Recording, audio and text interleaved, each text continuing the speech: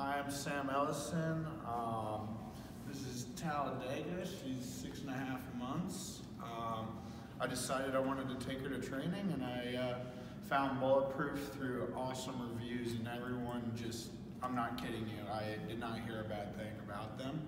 So I decided to check them out, and I'm blown away. Like, I'm actually blown away with my dog. A different dog, day and night. She, I was not expecting this at all. I was expecting I was gonna have to, I don't know exactly how to put it in words, but like have more of more responsibility on me. I mean, she's already doing things that I think she would do in a year. So it's just, this is amazing. And I cannot thank Megan enough for everything she's done. She's been incredible, and I mean incredible. And this is an awesome place.